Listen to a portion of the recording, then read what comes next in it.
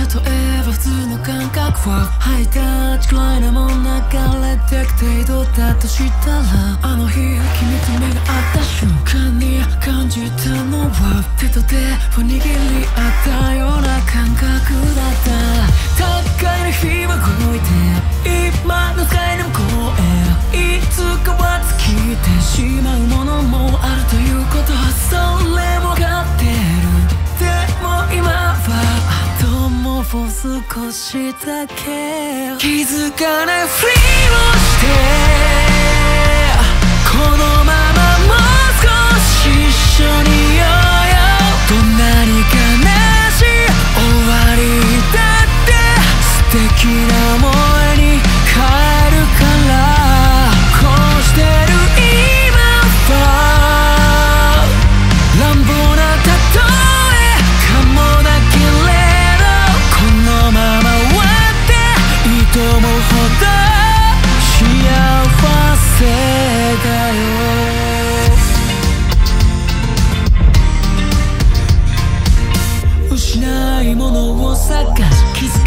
に進んでた。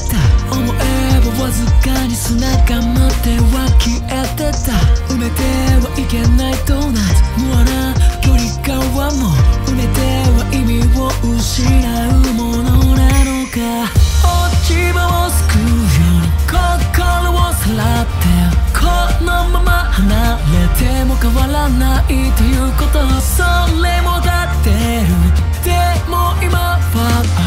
もう少しだけ。永遠なんて言う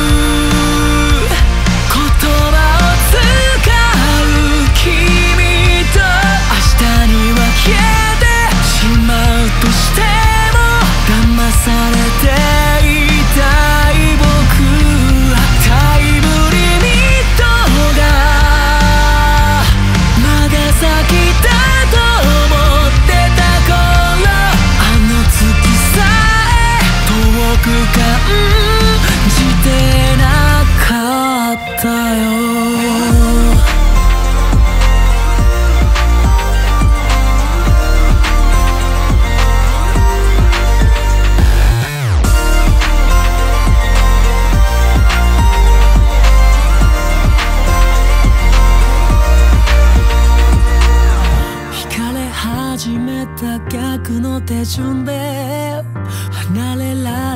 しない。